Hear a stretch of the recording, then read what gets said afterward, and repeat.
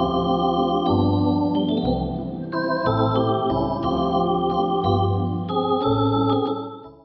morning, YouTube. Welcome to Cody's Card Closet.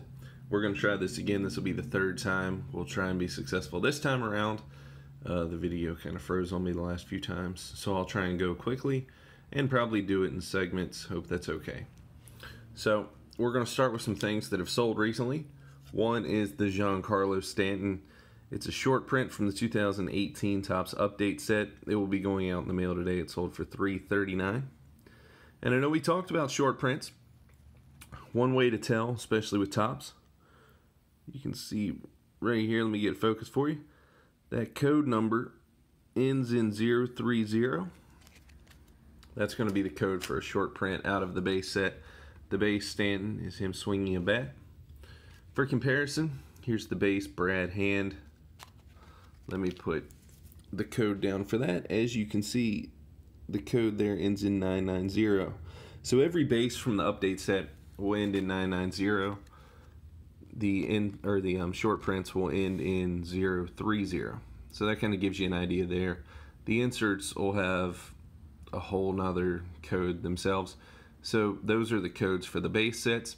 Every year of Topps has it, so feel free to check that out. Find out if you have some short pie, and it makes them a little more valuable. Hopefully you have a couple in your collection. Today's feature card is this Addison Russell Game Used Relic card from 2016 Topps Strata. I know I discussed Game Used relics a little bit yesterday when it came to the authenticated relics versus non-authenticated. A lot of the high-end products like Strata do authenticate it, and they're some of my favorites. This is one of the few authenticated relics I have in my collection. So there's actually a number on that sticker at the bottom. You can type that in and it'll tell you the specific game that the jersey was worn in. When others just say game used you're not sure what game this is from. I'm pretty sure this one was actually worn in a 2015 game against the kansas city royals. Another thing about authentication a lot of times if you go places that mlb is running events i went to all-star fan fest and they had autograph signings they have mlb authenticators there and they will actually authenticate the autographs as you get them.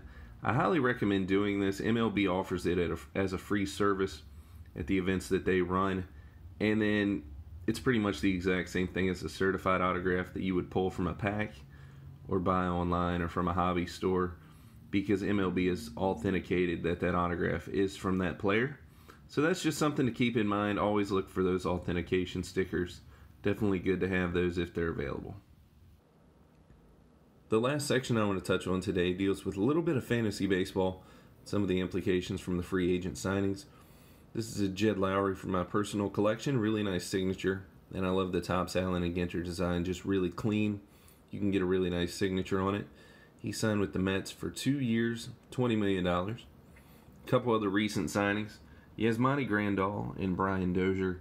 I have a Grandal autograph, but it was through the mail. It was in black. It just didn't look the greatest, so I just pulled a Topps Heritage for the visual here. And I've yet to add a Brian Dozier autograph, but as a Nationals fan, I'll have to get on that before long. If you have any, you know, feel free to let me know. Comment below. But Jed Lowrie signing with the Mets, Grandal with the Brewers, and Dozier with the Nationals. I think all three were great signings. I think Lowrie's going to hit towards the top of the order, so he should score a lot of runs in that lineup. Good Mets lineup behind him.